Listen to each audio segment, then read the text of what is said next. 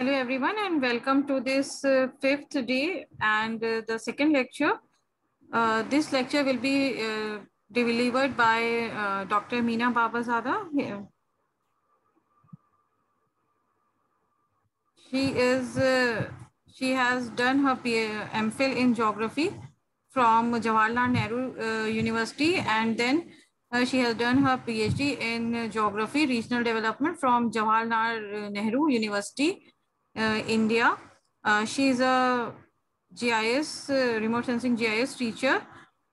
she has worked at MLK PG College, Balrampur, India as a lecturer at Geospatial Mapping Technology. Uh, she is a research associate at the Policy Change Initiative. Uh, she is a joint uh, researcher and now I want uh, Miss uh, Mina Babazadeh to introduce uh, her better.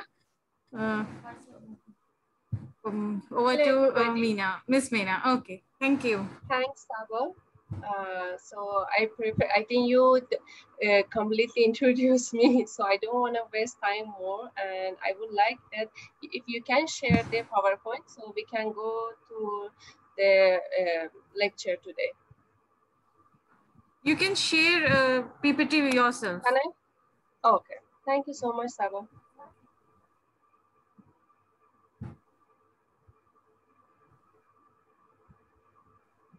I think, Saba, you make me disable to open share. Oh, just a minute.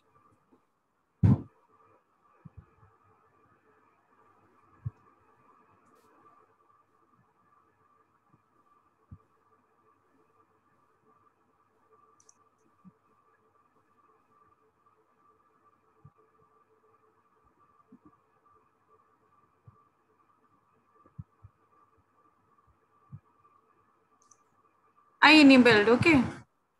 Thank you so much, Sarah. Thank you.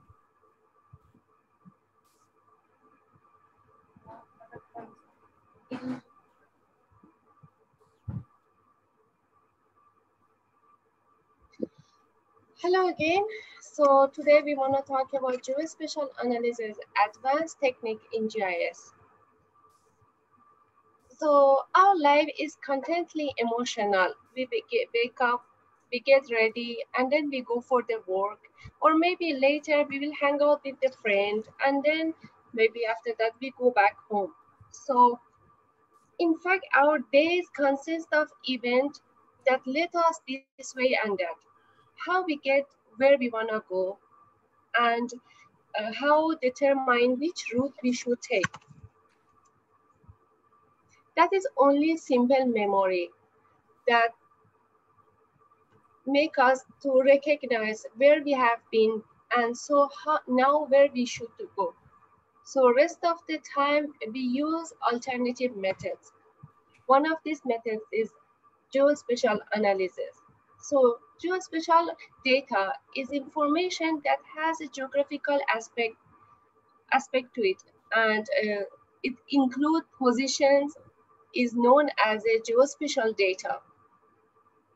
Geospatial analysis is used to add timing and location to traditional type of data and to build up visualization.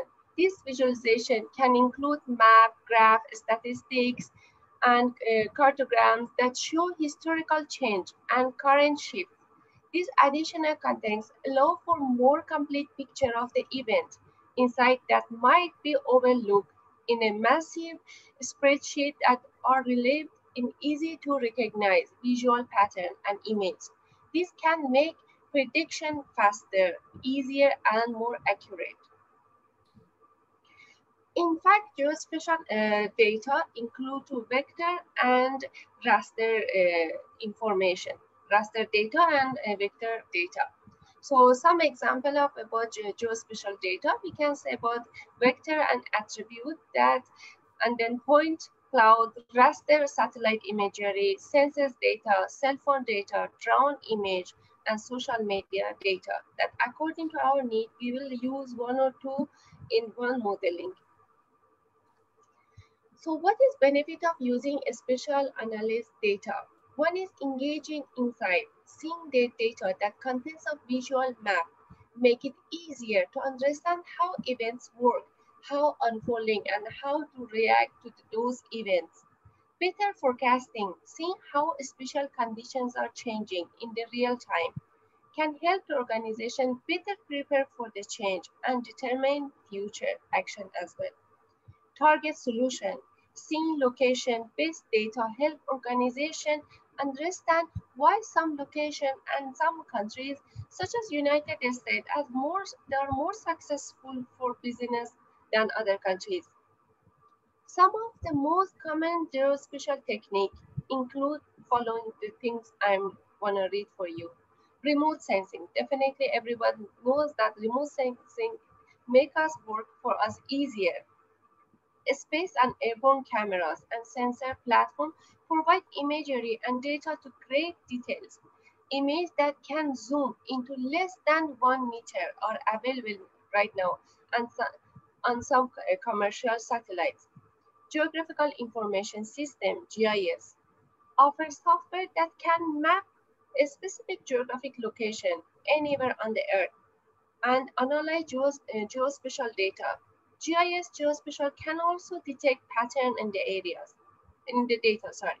Global Position System, GPS, provide coordinate location for military and civil use through Network USA, Department of Defense satellite, a European region called Galileo. Intent mapping technologies, Google Earth and Microsoft uh, by the combining both, they can make a geospatial software and geospatial mapping tool that make it easier for the people to view and share geospatial data. In fact, geospatial analysis combines GIS technology with scientific method and purpose to transfer data into visual, actionable information.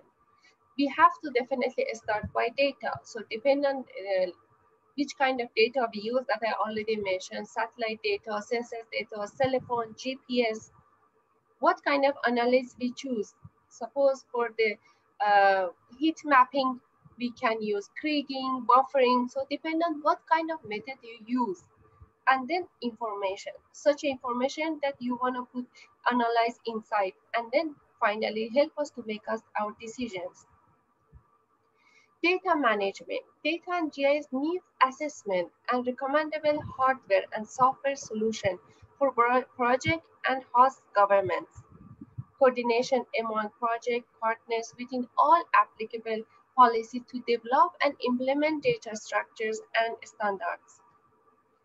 Applied spatial statistic and geospatial analysis. For what kind of study we can use this method? Definitely for uh, land cover, land use detection, land use, land cover changes, analysis and modeling, uh, sustainability and risk analysis, satellite image analysis, and uh, so many other research like disaster management, and then visualization and information. Thematic mapping, advanced statistic and visualizations, and interactive online mapping. Some of the study I gave you example before, like temperature change, rainfall change, land use change, we can use geospatial analysis. As you can see, geospatial analysis method it can be very in different variety. According to your project and your need, you will choose one, one or two. One is buffering, networking analysis, heat map, interpolation, kriging, density analysis, and route planning. Informing decision and policy. Determine land use allocation under complication object of maximizing resources to meet objectives modeling effect of land use change on biodiversity uh, and climate change during the project. Implications.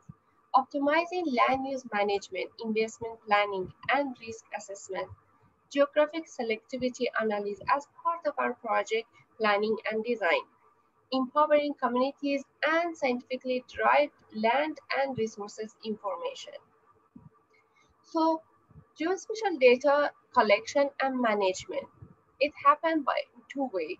one geospatial data collection that is because, happened because of sheer of volume of geospatial data greatly required by the interpreters and probability large many organizations look for to using their services to obtain uh, current uh, geospatial data and geospatial data management with so much data now it's available in the net census whatever information we have project managing it is considerable important important.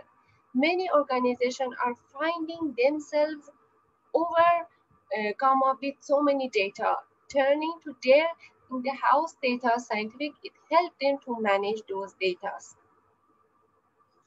Some of benefit of using geospatial data is one of the benefits is like for the advanced warning. For so many uh, weather forecasting, we can use geospatial data to find a proper model for our prediction. Another one, deeper understanding of the graphs, details of our analysis. Without this description, we cannot find proper answer for our questions. And then highlight efficiency, that how these uh, points are helping to solving future uh, problems. How geospatial analysis is used? One is teleco data analysis, enable to cor correction of issue before customers find no, uh, customer get notice. Geospatial analysis help companies quickly find and resolve network anomalies by visualizing where the problem is happening. Military analysis provide suitable awareness for the military logistic geospatial predictive analysis can help the military optimize placement of resources. GIS technology for disaster response or for disaster management, it helps to visualize extreme weather for different weather problems, storms, hurricanes, to enable enough advance warning for the uh, evacuation alert and effective response after disaster. And urban planning development definitely helps uh, uh, planners to visualize big data, public sector analysis to determine how growing population affect energy, transportation, housing sources. So I think uh, with this introduction, you get some view about how geospatial analysis it works. So we have to know that geospatial analysis is not only one tool that uh, can help us to make a different model, different analysis. With help of so many other software, other information like GIS, GPS, census data, other uh, different data, we can make a proper model by helping geospatial analysis and get better view about our issues. So thanks, Saba. I hope uh, students get enough information about how this uh, geospatial analysis work. And Saba, can you hear me? Uh, yes, thank you uh, so much, Mina uh, for this uh, for this wonderful uh, lecture. I hope the participants can uh, get uh, the very um, benefits of uh, this lecture. thank you so much. Most welcome.